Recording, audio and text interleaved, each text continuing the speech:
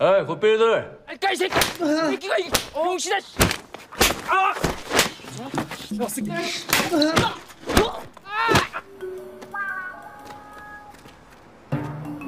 दोस्तों, इस मूवी में हम देखते हैं कि किम नाम के लड़के को स्कूल में सभी लोग बुली करते रहते हैं और एक दिन उसका जूता स्कूल की छत पर बाँध देते हैं। ये लड़का काफ़ी डरपोक और शरीफ होता है। ये उन्हें कुछ कह नहीं पाता और दीवार पर डरते हुए चलता है और अपना जूता निकालने वाला होता है कि वो छत से नीचे गिर जाता है और एक आदमी के ऊपर गिर जाता है। असल में ये आदमी एक गैंगस्टर होता है। किम की आँखें हॉस्पिटल में खुलती हैं और वो थोड़ा अजीब बिहेव करने लगता है। वो मिरर के आगे जाता है और उसकी आँखें फटी की फटी रह जाती हैं। असल में जब किम उस गैंगस्टर के ऊपर गिरा तो गैंगस्टर की आत्मा स्कूल के बच्चे किम के अंदर घुस गई थी। और इस समय जिसे हम देख रहे हैं, वो किम नहीं, बल्कि गैंगस्टर है, जो किम की बॉडी में है। कुछ टाइम तो ये गैंगस्टर अपनी पुरानी लाइफ जीने की बहुत कोशिश करता है, लेकिन जब ऐसा नहीं हो पाता तो वो किम की लाइफ जीने का डिसाइड करता है। अब किम का पूरा बॉडी लैंग्वेज और कॉन्फिडेंस बदल चुका था? वो अब शरीफ बच्चा नहीं था। वो स्कूल जाता है, लेकिन उससे कोई बात नहीं करता। इवन लंच में भी सब उसके सामने से खड़े होकर चले जाते हैं। ये देखकर वो थोड़ा कंफ्यूज होता है।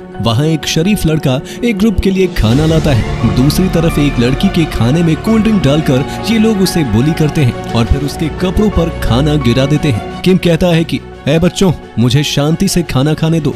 ये सुनकर उनके ग्रुप का लड़का उसके पास जाकर उसे धमकाते हुए कहता है, लगता है ये सारी मार भूल गया है। और उसे थप्पड़ मारने वाला होता है कि एक टीचर आ जाती है। वो उसे स्कूल के बाहर मिलने को कहता है। अब किम यानी कि गैंगस्टर स्कूल के बाहर उस लड़के से मिलता है। उसने सोचा था कि किम डर के मारे आएगा ही नहीं। लेकिन यहाँ तो हमारे गैंगस्टर हैं ये। वो कहता है कि तुम्हें पहले की तरह रोज लंच में मेरे लिए खाना लाना होगा। और किम को थप्पड़ मारने वाला होता है कि उसके गाल पर एक चाटा लगता है। वो कुछ सेकंड के लिए बिल्कुल सुन्न पड़ जाता है और दोबारा मारने वाला होता है कि एक और थप्पड़ उसको पड़ता है। और फिर तो उसके लिए चारों तरफ़ सन्नाटा ही छा जाता है। अब तो ये जैसे भीगी बिल्ली बन जाता है। गैंगस्टर को पता चलता है कि ये लोग किम को काफ़ी परेशान करते थे। तो वो एक और लात और एक और थप्पड़ मारकर उसे ज़मीन पर गिरा देता है। उसके दोस्त उसे बचाने आते हैं, लेकिन वो उनको भी लगाता है। अब हम वॉशरूम में देखते हैं कि ये लोग किम के दोस्त को बुली कर रहे होते हैं। अंदर से किम आता है और वो सब नीचे गिर जाते हैं। किम उसका फ़ोन उठा लेता है और वो लड़का अपना फ़ोन डर के मारे मांग रहा होता है कि एक थप्पड़ उसको भी लगता है।